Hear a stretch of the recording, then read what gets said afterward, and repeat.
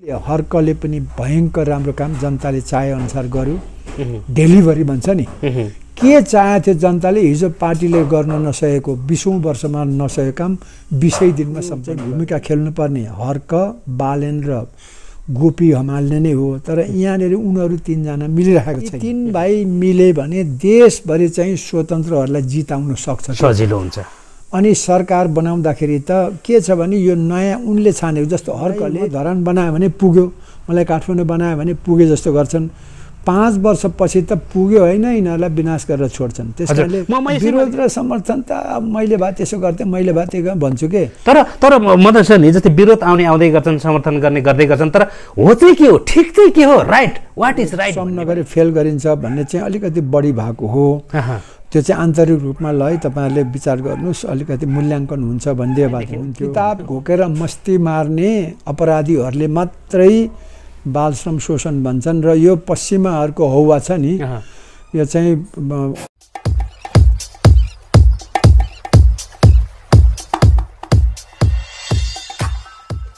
नमस्कार आदरणीय दर्शकहरू। म हो तपाईँहरूकै हरपलको साथी इन्द्र जिजिविसा यति बेला तपाईँले फ्रेममा देखिरहनु भएको छ।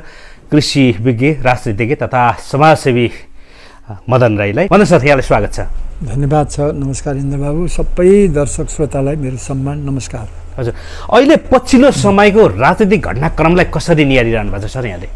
होइन अब पछिल्लो समयको घटनाक्रमको राजनीति त अब त्यो विभिन्न चुनाव आउन लाग्यो। अवस्था छ तर सबैभन्दा महत्त्वपूर्ण कुरो चाहिँ के भने राजनीतिक घटना चाहिँ अब आउने मङ्सिर चारको निर्वाचन हो।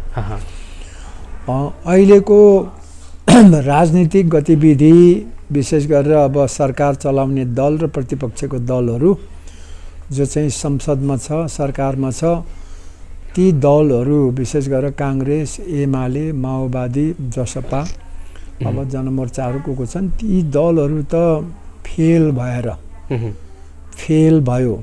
नेपाल संसारकै सबैभन्दा गरिब देश छ। दुई सय देशमा सबभन्दा गरिब देश मध्येमा दस टप टेनमा पर्छ। दोस्रो पचासौँ लाख यहाँको गर्न सक्ने उत्पादनशील के अरे नागरिकहरू बेरोजगार छन् र विदेशमा छन्। त्यसपछि यो देशमा स्कुल कलेजभन्दा बढी अस्पतालहरू बनेको छ। गरिब बेरोजगार रोगी अनि यो देशको एकजना पनि मान्छे चाहे बुढा होस् चाहे केटाकेटी होस् या युवा होस् आशावादी देखिँदैन निराश देखिन्छ।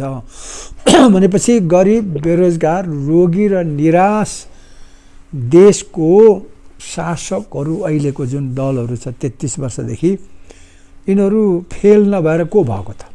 यिनीहरू सबै लोकतान्त्रिक दलहरू बनाउँदाहरू हुन्। यो न राजतन्त्र हो न राणातन्त्र हो न कम्युनिस्टकै मात्रै भयो। त्यस कारणले यहाँ त काङ्ग्रेस पनि छ। यिनीहरू लोकतन्त्रको नाममा कलङ्कहरू हुन्। यिनीहरूले गणतन्त्र पनि ल्याए लोकतन्त्र पनि ल्याउनलाई उभिए के भन्छ नेतृत्व गरे तर जनताकै साथले मात्रै सफल भएका हुन्। जनताले साथ दिए सफल पनि भए। तर यिनीहरूले चाहिँ समृद्ध नेपाल बनाउँछौँ। धनी देश बनाउँछौँ रोजगारमूलक देश बनाउँछौँ हामी निरोगी समाज बनाउँछौँ र हामी आशावादी समाज बनाउँछौँ भन्नेमा ठिक विपरीत भयो। र यिनीहरूको चाहिँ नराम्रो कुरा के भने यो सामन्ती विलासी काङ्ग्रेस के भन्छ राणा र राजाहरूलाई समाप्त गरेर चाहिँ नेपालमा हामी चाहिँ के भन्छ यो समृद्ध नेपाल बनाउँछौँ र समृद्ध नेपाली बनाउँछौँ भनेर गर्ने काङ्ग्रेस ऊ आफै सामन्ती विलासी भयो। ठ्याक्कै देशलाई समृद्ध बनाउनु पर्ने ऊ विलासी भयो। कसको राणा र राजा जस्तै सामन्ती विलासी भयो। कम्युनिस्टहरूले पनि हामी लोकतन्त्र स्थापित गरेर चाहिँ हामी गणतन्त्र स्थापित गरेर देशलाई समृद्ध बनाउँछौँ भन्ने सबै मान्छेलाई हामी खुसी र समृद्ध बनाउँछु भन्ने उनीहरू चाहिँ सर्वहार विलासी तर पछिल्लो समय अत्यन्तै चर्चामा रहेका पात्रहरू स्वतन्त्र उम्मेद्वारकै कुरा गरेँ मैले। हर्क साम्पाङ बालेन्सा यता गोपाल हमाल पनि हुनुहुन्छ। उहाँ यद्यपि उहाँ अलिक त्यति चर्चा देखिएन उहाँ उहाँले पनि गर्दै हुनुहुन्छ होला। तर अहिले चर्चामै अत्यन्तै चर्चामा रहेको चाहिँ हर्क साम्पाङ र बालेन्सा रहनु भएको छ। उहाँहरूले पनि अहिले पछि समय आफ्नो कामलाई अत्यन्तै गति दिनुभएको छ। यहाँ विभिन्न टिका टिप्पणी भएका छन्। समर्थन गर्ने पनि छन् आलोचना गर्ने पनि छन्। तर तपाईँले चाहिँ कसरी हेर्नु भएको छ कसरी विश्लेषण गर्नुभएको छ? उहाँहरूको काम उहाँको कर्तव्य उहाँको व्यवहारहरूलाई। त्यहाँ पुग्नुभन्दा अगाडि यतापट्टि हेरौँ है अलिकति। तेत्तिस वर्ष बत्तिस तिस वर्ष भन्दा बढी चाहिँ पार्टीहरूले शासन गरेपछि देश चाहिँ त्यही भयो त गरिब बेरोजगार अनि के रोगी र दुखी भनौँ अथवा निराश जनताहरूको चाहिँ अवस्था भएपछि अस्तिको जेठ तिस गतिको चुनावमा चाहिँ जनताले अब आक्रोश व्यक्त गर्न थाले। पुग्यो भन्न थालेर धरानमा हर्कलाई दुई सय स्थानमा हो त्यस्तो तर पनि धरानमा हर्कलाई ठुलो ठाउँमा। काठमाडौँको राजधानी जबकि पचास लाख भएको पपुलेसन भएको ठाउँमा अनि उता के भन्छ धनगढीमा ठुलै सहरमा जनताले चाहिँ विद्रोह गरेर चाहिँ पार्टीलाई हराए। त्यो कुरो चाहिँ सुरुवात भयो। अब यसको मतलब अहिले के भएको छ भने यो राजनीति नेपालको अति धेरै गजब संवेदनशीलमा पुग्या ठाउँमा पुगेको छ।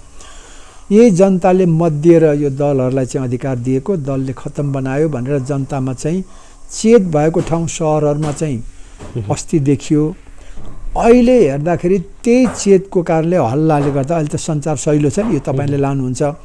ए ए ए भनेर अहिले गाउँघरतिर पनि अब पुरानो होइन पुरानो होइन पार्टी होइन अब स्वतन्त्र स्वतन्त्र नयाँ नयाँ नयाँ भन्दैछ।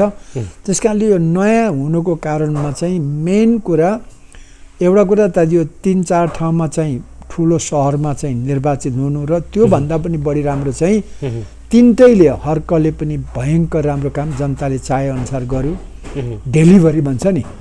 के चाहेको थियो जनताले हिजो पार्टीले गर्न नसकेको बिसौँ वर्षमा नसकेको काम बिसै दिनमा सम्पन्न गर्यो होइन? बालेन शाहले हिजो बाबुराम भट्टराईले छोडेको कामहरू भनौँ न त्यसमा भएको थियो। फेरि बाबुराम पछि करिब दस पन्ध्र वर्षपछिमा त फेरि जस्ता जस्तै हुन लागेको थियो अनि बालेन शाहले त्यसलाई गरेर देखाउँदैछ होइन?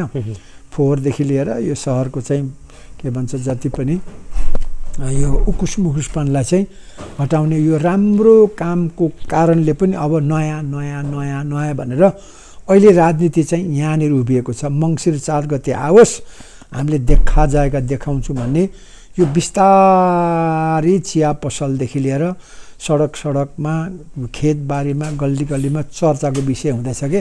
र म त्यसैको लागि त्यही कुरालाई चाहिँ अझ विस्तार होस् भनेर तपाईँसँग कुरा गर्न चाहेको यो भनौँ आउनुभयो मेरो चुरा चाहिँ परिवर्तनको सङ्घारमा छ नेपाल।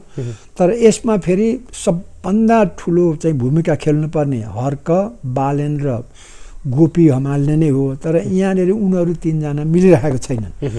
आफ्नै तरिकाले खरदार सुब्बा जस्तो एउटा कारिन्दा जस्तो काम गरेका छ उसले हर्कले आँखा चिम्लेर। बालेनले त्यस्तै उहाँ यिनीहरू ति यति बेला चाहिँ अहिले चार महिना कट्यो उनीहरूको अझै छप्पन्न महिना बाँकी छ कि? होइन?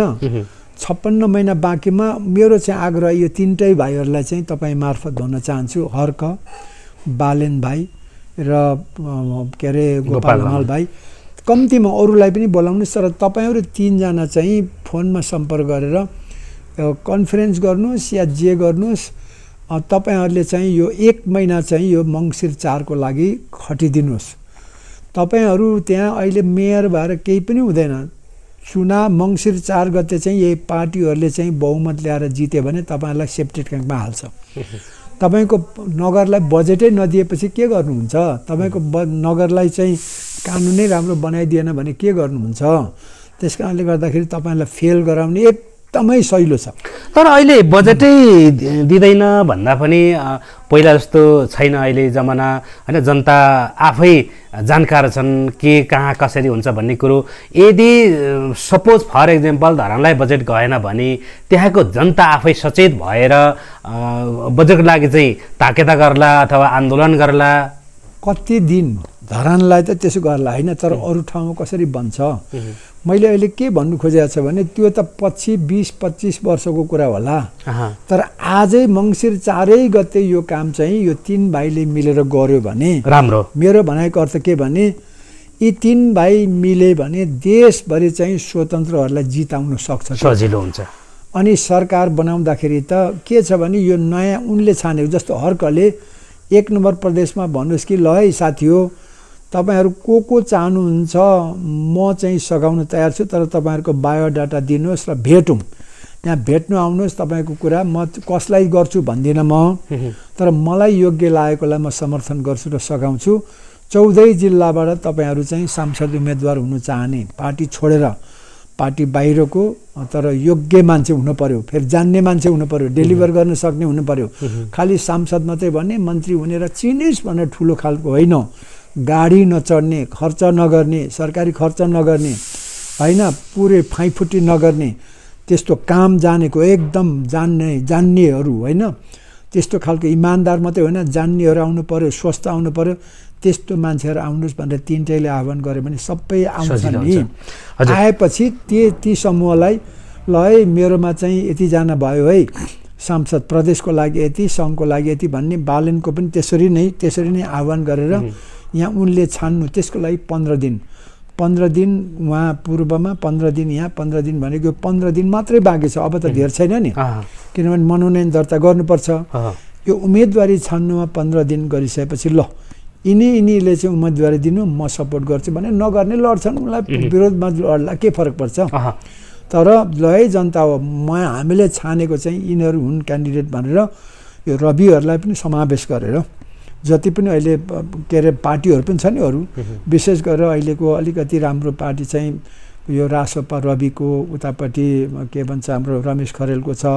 अनि यता विवेकशील पनि छ। अनि यता नयाँ शक्तिको पक्षहरू हाम्रो पनि छ। म हाम्रो त पार्टी बनाएको छैन। ती पार्टीहरूलाई पनि समावेश गरेर सहकार्य गर्ने गरी के? सहकार्य एकै ठाउँमा धेरैजना आफ्नो आफ्नो उम्मेदवार भन्दा पनि मिलेर गरेर चाहिँ उम्मेदवार उठायो भने यो तिनवटाले एउटा मिलेर म्यासेज दियो र हाम्रो क्यान्डिडेट चाहिँ एक सौ पैँसठीजना क्यान्डिडेट यो हो तिन सौ तिसजना क्यान्डिडेट यो हो। र अब त्यसमा तपाईँको कुन कुनको छ समानुपातिकमा यति चाहिँ जाने भने कुनै दल मार्फत गर्नु सक्यो भने मलाई जहाँसम्म लाग्छ सरकार बनाउँछ। जस्तै बनेपछि बनेपछि के हुन्छ त? उतापट्टि एक नम्बर प्रदेशमा हर्कको चाहिँ त्यहाँ जिम्मामा काम हुन्छ डेलिभरी सुरु हुन्छ नि त। होइन? अनि त्यसपछि एनर्जी सबभन्दा ठुलो त ऊर्जा आउँछ क्या जनतामा? अनि ऊर्जा आएपछि त्यही जसरी धरानमा चाहिँ कति धेरै चाहिँ त्यहाँ श्रमदान भयो त्यो पनि देशभरि श्रमदान हुनसक्छ। त्यस्तो गऱ्यो भनेदेखि नेपालमा परिवर्तन आएर काङ्ग्रेस र कम्युनिस्टलाई पनि के हुन्छ? चेतावनी हुन्छ। उनीहरूको पनि आउँछ समानुपातिकमा भोट आउँछ कुनै कुनै चाहिँ जित्ला। त्यसरी प्रतिपक्षमा बसेर उनीहरू चाहिँ अब पार्टीलाई लोकतान्त्रिकरण गर्नुपर्ने रहेछ है अरू चाहिँ भएन बाटो भनेर उनीहरूले पनि चेत खुलाएर सुधार हुन थाल्छ। सचेत त्यही हो चेन्ज त्यहाँनिर आउँछ। यो गर्नलाई ढिला भइसकेको छ। त्यस कारण मैले हर्क बालनलाई फोनमा त कुरा कहिले काहीँ गर्छु तर त्यो कुरा उनीहरूलाई हेक्का छैन कि? उनीहरू मलाई म धरान बनायो भने पुग्यो मलाई काठमाडौँ बनायो भने पुगे जस्तो गर्छन्। पाँच वर्षपछि त पुग्यो होइन यिनीहरूलाई विनाश गरेर छोड्छन्। त्यस कारणले म यसैमा अलिकति जोडिहाल्न चाहेँ जस्तै अघि जस्तै यहाँले भन्नुभयो धरानबाट एउटा हर्कसम्बाको नेतृत्वमा एउटा टिम बनोस् बिचमा चाहिँ बालेनको नेतृत्वमा एउटा टिम बनोस् पश्चिममा गोपी हमाल अथवा गोपाल हमालको टिमबाट चाहिँ एउटा टिम बनोस् भन्ने आशयको व्यक्त गर्नुभयो। जस्तै अब टिम बन्छ अरे टिम बन्यो भने जित जित्न पनि सक्ला होइन अब भविष्यको कुरो चुनावमा जित्ला पनि अरे।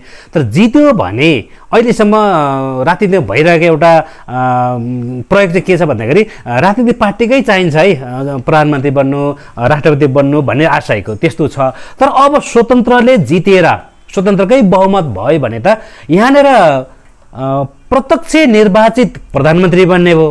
होइन प्रत्यक्ष निर्वाचित राष्ट्रपति पनि बन्ने भयो। यो देखियो नि त होइन? किनभने पार्टी नै छैन। स्वतन्त्र मात्रै जितेर आएका छन्। होइन पार्टी भन्ने कुरा र स्वतन्त्र भन्ने कुरा एउटै हो कि? पार्टीको सयवटा होला स्वतन्त्रको एउटा एकजना तर एकै भोट पनि प्रधानमन्त्री हुन्छ कि? यो संसदीय व्यवस्था चाहिँ यो त ऊ नभन्यो के अरे हिसाब न हो नम्बरको गेम हो कि? त्यसले गर्दाखेरि मलाई त लाग्छ म त स्वतन्त्र चारपटक उठिसकेँ नि त। त्यसले गर्दा यो कुरा महत्त्वपूर्ण छ भोलि त्यो प्रक्रियाबाट बहुमत पुर्याउने बेग्लै हो। तर यति मात्रै होस् कि अहिले चाहिँ नयाँ मान्छेलाई रोजी रोजी खोजी खोजी रोजी रोजी छान्न सक्यो भने कहीँ नभए पनि अहिलेको यो दल जस्तो पच्चिस लाख गुन्डा त पाल्नु पर्दैन नि यसले किनभने पार्टी छैन अब उसले त केवल सपोर्टरहरूले भोट दिएको हुन्छ जनताले। त्यसले गर्दा ऊ बाहेक अरूलाई पाल्नु पर्दैन के? अहिले त पार्टीको एउटा नेताले जित्यो भने उसको दस हजार गुन्डा पाल्नुपर्छ। मैले काङ्ग्रेस छोडेकै त्यही गुन्डा पाल्नुपर्छ भनेर हो। सक्दै सक्दैन कि? अनि त्यो गुन्डा पाल्दा त ढिकुटी हात हाल्नु पर्यो। स्वतन्त्रले पायो भने त उसले ढिकुटी हात हाल्नु पर्दैन जस्तो ढर्क साङपाङलाई कोइला कसलाई पाल्नै पर्दैन। बालेनलाई पनि कोइला पाल्नु परेन सुनितालाई त पाल्नु पर्दैन भनेपछि त्यस कारणले हो स्वतन्त्रको एउटा फाइदा के हुन्छ भने गुन्डा पाल्नु पर्दैन। र अर्को विवेकले काम गर्न पायो। हो अनि अर्को पार्टीहरूको पनि गुन्डा पाल्नु पर्दैन किनभने उनीहरूको पनि अब त्यो त मतदानले आउने हो। त्यस कारणले पनि गुन्डा पाल्ने प्रवृत्ति अथवा के अरे यो प्रणालीको पार्टीहरूलाई हराउनु पायो भने धेरै धेरै भ्रष्टाचार मुक्त हुन्छ। र डेलिभरी पनि भयङ्कर राम्रो हुन्छ कुरो त्यति हजुर म अब चाहिँ फेरि पहिलाकै जुन आफ्नो मेन विषयवस्तुतिर आउन चाहेँ मैले सुरुमै सोधेको थिएँ यहाँसँग हर्क साम्पाङको जुन अहिले काम छ होइन जसरी उहाँले गरिरहनु भएको छ जुन तरिकाले उहाँ अगाडि बढिरहनु भएको छ विरोध पनि आएका छन् समर्थन पनि आएका छन् त्यहाँनिर। उहाँ आफ्नै तरिकाले अगाडि बढिरहनु भएको छ काम गरिरहनु भएको छ। उहाँको कामलाई चाहिँ कसरी यहाँले विश्लेषण गर्नुहुन्छ होइन, भन्नेतिर गएको थिएँ सुन्नु मान्छेको आफ्नो आफ्नो स्टाइल हुन्छ कि? हरेक मान्छे अलग हुन्छ हर्क अलग हो बालेन अलग म अलग हो गोपाल म आफ्नो स्टाइलले काम गर्छ। महत्त्वपूर्ण कुरा चाहिँ के भने जनताको काम गर्दैछ कि छैन? विरोध र समर्थन त मैले भए त्यसो गर्थेँ मैले भए त्यो भन्छु के? तर तर म- मदन सर नि जस्तै विरोध आउने आउँदै गर्छन् समर्थन गर्ने गर्दै गर्छन् तर हो चाहिँ के हो? ठिक चाहिँ के हो? राइट। वाट इज राइट भन्ने पनि राइट भनेको डेलिभरी। हजुर। जनताले चाहेको सबभन्दा प्रायोरिटी के? बाबुराम भट्टराई यहाँ प्रधानमन्त्री भयो के थियो यहाँको चाहिँ डेलिभरी दिनुपर्ने? के थियो भने बाटो कम सानो छ साँगुरो थियो फरक बनाइदियो। अहिले बालेनले यहाँ अतिक्रमण भएर छ त्यसलाई हट हटाइदियो। धरानमा पानी अभाव छ पानी दिदेऊ। त्यसरी के हो जनताको प्रायोरिटी जादुगर त होइन फु फु फु गर्दा सबै हुने। त्यस कारणले के चाहिँ गर्न सकिन्छ र के गर्नु पर्थ्यो त्यो कुरा हो। ठ्याक्कै यो तिनै ठाउँमा उनीहरूले गरिदिएको छ। त्यति त हो नि। अब स्वतन्त्र निजाप आएपछि अहिले कानुन खराब छ। अनि त्यसपछि यिनीहरूबाटै मन्त्री हुने मन्त्रीहरू घुस्या छन् घुन्ना पालेर बस्छन्। अहिलेको यो स्वतन्त्र मन्त्री भयो भने त उनीहरू त एक सय क्वालिफाइड छन् युवा छन् अठार घन्टा काम गर्छन्। घुस खानु पर्ने आवश्यकतै छैन। किनभने उनीहरूको कसलाई पाल्नु छैन क्या बिचौलिया पाल्नु पर्ने ठेकदार पाल्नु पर्ने गुन्डा पाल्नु पर्ने छँदै छैन। किन पार्टीमा त जम्मै अहिलेको त ठेकदार गुन्डाहरू त सबै पार्टीको छ नि त त्यसले गर्दाखेरि कसलाई दिनुपर्ने ठेक्का कसलाई नदिनुपर्ने त मतलबै छैन। किनभने उनीहरू त के अरे प्रायः जसोले त कफन बाँधेर आएको छ होइन? म यो देश बनाउँछु भनेर त्यस कारणले पनि मङ्सिर चार गते चाहिँ नेपालको इति ऐतिहासिक जसरी पञ्चायत व्यवस्थामा मदन भण्डारीले ओ राजा के अरे सिरपेट छोडेर आउनु चुनाव लड्नु भने जस्तै मैले पनि अस्ति खुला मञ्चमा त्यही भने अब गुन्डा पाल्ने काङ्ग्रेस र कम्युनिस्टहरू होस गर्नु। कि सचिन्नु? होइन भनेदेखि मासिन्छ। र जनता हो अब विकल्प चाहिँ अब यदि परिवर्तन हुने हो भने यस्तै गुन्डा पाल्नेलाई भोट दियो भने त ठुलो आश नगर्नु। त्यसमा अब गरिब त छँदैछ। बेरोजगार त भइ नै हाल्छ। रोगीकै देश हो। कम्तीमा पनि केही न केही राम्रो काम गर्ने त्यही अहिले भएको तिन ठाउँकै उदाहरण दिन सक्ने त्यतिभन्दा पनि कम गरे पनि हुन्छ। तर यो गुन्डा पाल्नेहरूभन्दा त बढी नै राम्रो हुन्छ भनेर मेरो रात दिन मङ्सिर चार भन्दा पाँच गते त केही कुरा नगरे पनि हुन्छ। हजुर। मङ्सिर पाँचदेखि पाँच वर्ष चाहिँ चुपचाप कान समाएर बसे हुन्छ अब खाए भनेर बसे हुन्छ। monsieur तपाईँको आशय जुन हर्क सम्पाङले यति जनमुखी काम गर्दा गर्दै पनि विरोध आउनुको पछाडि चाहिँ यिनै कारणहरू होइन हर्कको कमजोरी छ नि त। उनी अब बोल्नु पर्ने के नबोल्नु पर्ने के आफ्नो भावनाले अलिकति इमोसनल भन्छ कि। बढी इमोसनल बढी बढी चाहिँ भावनामा बग्छन्। त्यो मान्छेको कमजोरी हो। तर म उसलाई जतिसुकै जे गरे पनि अहिले खडेरी परेको बेलामा पानी परेको छ कि। उनी पानी परेको एउटा वर्षाद हो। त्यति नै पनि काफी छ। काफी छ। पानी परिदियो। ब नबगाओस् मात्रै भन्ने हो। पानी आएको छ म त त्यसैलाई धन्यवाद दिन्छु। त्यस्तो मान्छे पाउनु कहाँ धरानमा? पाउनु पऱ्यो नि त। निस्काउनु पऱ्यो नि त। होइन? निस्किन्छ। अब उसकै कारणले उसलाई चुनौती दिने आउँछ अनि मात्रै विकास हुन्छ। लोकतन्त्रको सुन्दरता त प्रतिस्पर्धा हो नि त। त्यसले गर्दाखेरि अब हर्ककै कारणले म जस्तो हो भने आउनुहोस् देखा पर्नुहोस् भनेर एक सय उसले निवेदन आउनु सक्छ नि उसलाई अनि छट्ट छलफल गरेर कुरा गरेपछि उसको ब्याकग्राउन्ड फेरि आफ्नो एउटा टिम बनाएर लो सोध्नु जानुहोस् त यो मान्छे कस्तो छ? भनेर अलिकति गयो भने दुई दिनमै हुन्छ क्या। प्रत्येक जिल्लामा दुई दुईजना पठाएर बुझ्यो भने पनि यतिलाई दिँदा हुन्छ भनेपछि त त्यसलाई। कमसेकम मतदान गर्ने मान्छेलाई चाहिँ के अरे जनतालाई त ठाउँ त हुनु पऱ्यो नि। त्यो चाहिँ अलग अलग गएर भन्ने होइन कि हर्कले भन्यो एक नम्बरमा बालेनले यहाँ बागमतीमा भनेर उतापट्टि पश्चिममा गोपीले भने पनि तिन प्रदेशमा मात्रै जित्यो भने त ठुलो त हल्का भयो नि त। त्यति हो भन्नु। हजुर। म बालनको विषयमा अलिकति पछाडि आउँछु। अहिले हर्ककै विषयमा एउटा मात्रै प्रश्न छ मेरो तपाईँको लागि अब हर्क साम्पाङले केही समय अगाडि मात्रै विद्यार्थीलाई माटो छुनुपर्छ माटो खेल्नुपर्छ माटो चिन्नुपर्छ। यसर्थ नौ क्लासदेखि उँभोको नौ दस एघार बाह्र। होइन? यी विद्यार्थीहरू चाहिँ अनिवार्य रूपमा एक दिन श्रमदान सिक्नु श्रमदान गर्नु अथवा माटो छुनु आउनुपर्छ भनेर चाहिँ भन्नुभएको थियो। कतिपय स्कुलले त अहिले श्रमदानमा पठाइसक्नु भएको छ होइन? सहभागी भइसक्नु भएको छ। फेरि यहाँनिर आलोचना आएको छ कि यो त बाल श्रम शोषण गरायो होइन? हामीले चाहिँ चाहिँ नि केही त्यहाँ खोलामा ढुङ्गा बोक्नु चाहिँ हामीले छोराछोरी स्कुल पठाएको हो भन्ने अभिभावक देखियो। अनि त्यो त उसको के छ भने त्यो धेरै जस्तो क्रिटिसिजम आएको सही पनि हो अब मान्छेले त भन्छ नि। उनले भनेको श्रम गर्नुपर्छ भने त्यो त मेरै उ त हो नि मैले नै भनेको हो। माटो छुनुपर्छ माटो ढुङ्गा नसिकन हुँदैन माटो भनेको आमा हो भनेर। पछि मैले पनि उसलाई फोनमा पनि भने यो चिन्ता नगर भनेर। अनि पठाएँ पोस्टिङ पनि गरेँ। यो उनको अलिकति बढाइ भनेको चाहिँ जाँचमा फेल गरिन्छ भन्यो नि। काम। नगरे काम नगरे के अरे श्रम नगरे फेल गरिन्छ भन्ने चाहिँ अलिकति बढी भएको हो। त्यो चाहिँ आन्तरिक रूपमा ल है तपाईँहरूले विचार गर्नुहोस् अलिकति मूल्याङ्कन हुन्छ भनिदियो भए त हुन्थ्यो त्यो चाहिँ अलिक अब बोल बोल्दाखेरि अब त्यसैलाई चाहिँ मान्छेले नेगेटिभ इस्यु बनायो। इस्यु बनायो। तर म त भन्छु तपाईँले आठ नौ दस भन्छु के को जन्मिने बित्तिदेखि माटोमा छुवाउनुपर्छ माटो नै हो आमा ऊ त माटोकै उपज हो सबै कुरा उसको जिउ नै माटो हो। जिउ नै माटो त यसैमा कतिपयले फेरि कसरी व्याख्या गरेका छन् भने भोलि गएर भारतले नेपालको लागि चामल मात्रै रोकिदियो भने त्यति बेला बाल श्रम शोषण भयो भने आमा बाबुले आफ्नै छोराछोरीलाई कसरी खेतबारी खनाउँदा रहेछन्? त्यति बेला हामी हेर्छौँ भन्ने तरिकाले विश्लेषण होइन, गर्नुभएको छ त मैले भनिरहेको छु नि। म त भन्छु भारतले नाकाबन्दी गरोस् कम्तीमा पनि पचास वर्ष अनि मात्रै नेपाल बन्छ चाइनाले पनि गर्नुपर्छ के? अनि यो काठमाडौँमा को बस्ने? त्यसपछि चाहिँ बाल शोषण भयो भने आमा बाबुले अथवा अभिभावकले अथवा चाहिँ यस्ता सामाजिक अभियन्ताहरूले चाहिँ खेतबारीमा कसरी काम गर्दछन् गराउँदछन् भन्ने देखिने। किताब घोकेर मस्ती मार्ने अपराधीहरूले मात्रै बाल श्रम शोषण भन्छन् र यो पश्चिमाहरूको हौवा छ नि यो चाहिँ गरिब देशहरू विकास नहोस् भनेर उनीहरूले त इन्जिनले काम गर्छ। त्यस कारणले उनीहरूको छोराछोरीले केही श्रम श्रम नगरे पनि हुन्छ। गराउँछन् सफी उनीहरूको आफ्नै तरिकाले। हामीलाई त खेतबारी नजोतिकि त बाँच्दै बाँच्दैन। उनीहरूले खेतबारी जोत्नु पर्दैन। जम्मै ट्र्याक्टरहरूले गर्छ रोबोटले गर्छ।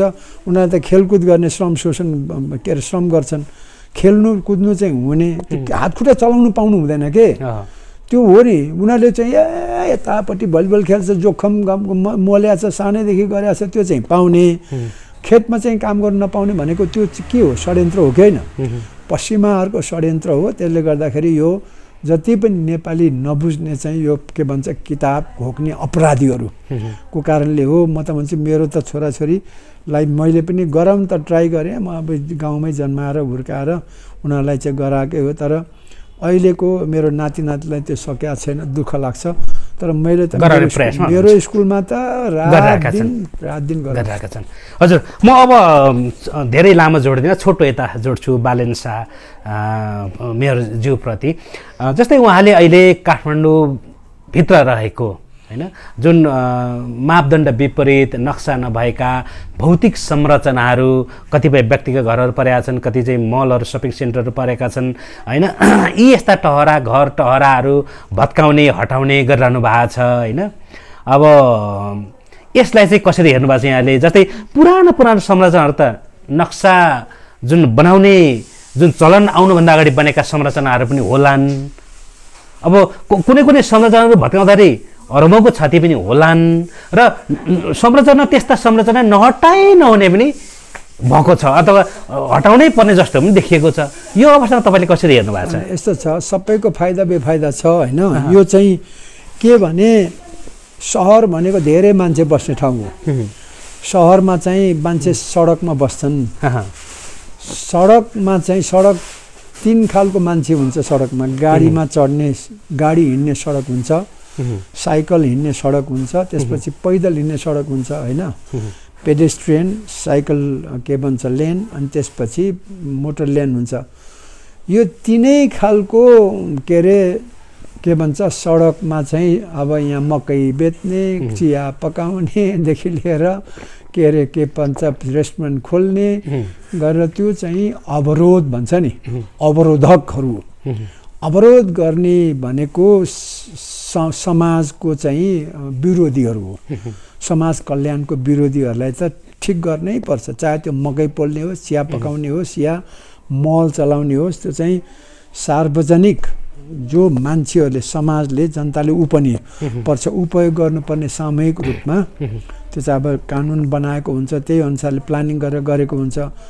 त्यसलाई अतिक्रमण गर्ने चाहे मकै पोल्ने चिया पकाउने या मल चलाउने पसल चलाउने जेसुकै होस् त्यसलाई त निमेट्यान्न गर्नै पर्छ। त्यसलाई त भनेपछि विनाश नभई विकास हुँदैन भन्ने छैन। त्यो बनेको भत्किने फेरि भन्छ भन्छ। तर प्रायोरिटी केलाई दिने भन्ने पनि देखिन्छ यहाँनिर। जस्तै अब अहिले जुन उहाँले गरिरहनु भएको छ भत्काउने कामहरू यसको अलावा अरू काम थुप्रै छ। जस्तै फोहोर व्यवस्थापनको कुरा आउँछ। यहाँको चाहिँ यत्र तत्र बिजुलीको तारहरू छन् होइन? अनि भित्तैभरि बिजुलीको पोलैभरि जताततै टालिने पोस्टर पम्पलेटहरू छ होइन? यसले गर्दा पनि सहर कुरूप देखिएको छ। अनि खानेपानी ढलको त्यस्तै अव्यवस्थित तरिका छ। यतातिर गर्ने हो कि भन्ने पनि पहिला कुरा त मान्छेमा जस्तो बाबुराम भट्टराईले प्रधानमन्त्री हुनेको भोलिपल्टैदेखि बाटो खन्न थाल्यो नि भत्काउन थाल्यो। किनभने त्यो त मान्छे उकुस मुकुस भएर चल्न खेल्नै थियो म यहाँबाट रिङ रोडबाट तल साधोबाटो रिङ रोडबाट महाराजगञ्ज पुग्नलाई साढे तिन घन्टा लाग्थ्यो। त्यति बेला? अँ। होइन कम्तीमा साढे तिन घन्टा लाग्थ्यो जाममा पसेर। तर बाबुरामले भत्काएपछि म बिस मिनटमा पुगेँ। होइन? कति समय बच्यो होला। किनभने त्यस बेला मान्छे आजित थियो। कति तेल डढ्यो कति धुवाँ आयो होला कति मान्छेलाई तनाव भएर चाहिँ साइकेट्रिक मतलब यो के भन्छ मनोरोग लाग्यो होला यी सबै कुरालाई गरेको हुनाले अहिले पनि फोहोर एक नम्बर समस्या हो तर फोहोर भनेको त्यो अहिलेको बालनले प्रयोग गरेको अथवा कसैले प्रयोग गरेको काम लाग्दैन। मैले हामीले जो अभ्यास गर्दैछौँ जसले फोहोर गर्छ उसैले सफा गरेन भने त्यो फोहोर कहिल्यै पनि सफा हुँदैन। किनभने फोहोर भने त निरन्तर निस्किरहने कुरा हो नि। अब त्यो त तत्त्व नाश हुँदैन। मान्छेले भौतिक तत्त्व चाहिँ उपभोग गर्छ। त्यो नाश नभएपछि त कहीँ अर्को रूपमा जान्छ जस्तो मैले भौतिक वस्तु भात खान्छु। त्यो नाश हुँदैन। अलिकति मात्रै आगो बलेर मेरो तरङ्ग हुन्छ इनर्जी आउँछ। बाँकी त गुमा जान्छ। पानी पिउँछु त्यो अलिअलि तरङ्गमा जान्छ। होइन ऊर्जामा जान्छ। मुत हुन्छ पसिना हुन्छ। त्यस कारणले त्यो त निस्किरहन्छ।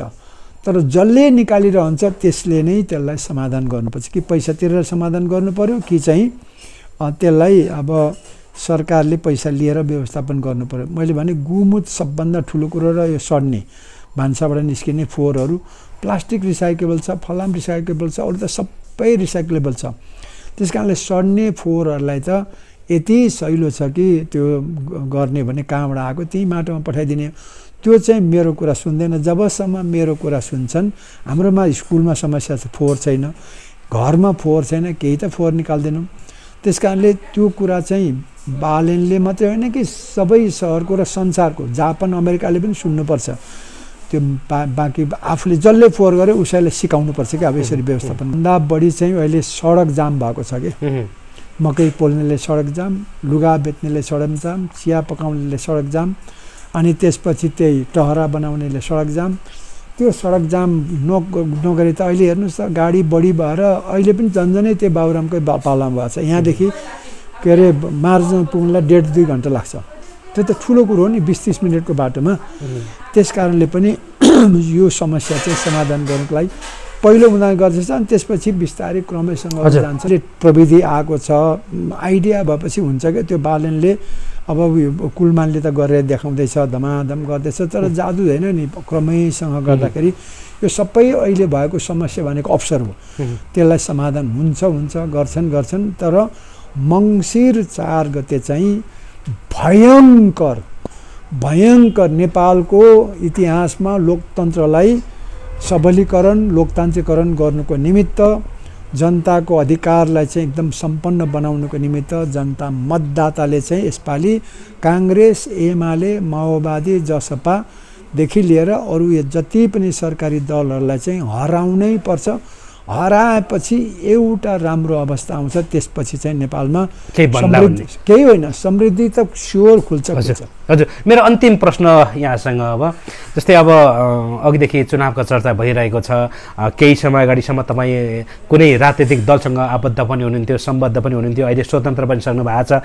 अब के चाहिँ छ त सम्भावना? तपाईँ स्वतन्त्रको उम्मेद्वार बन्दै हुनुहुन्छ कि चुनाव लड्दै हुनुहुन्छ कि कसैलाई उठाउँदै हुनुहुन्छ कि के चाहिँ छ अहिले? होइन म आफै नै साठी कटेकोहरूबाट अब कुनै पनि आश नगर्नु र यो एकपटक अभ्यास भयो अब साठीभन्दा माथिकोले चाहिँ चुनाव नलड्नु भन्ने सुझाव दिन्छु।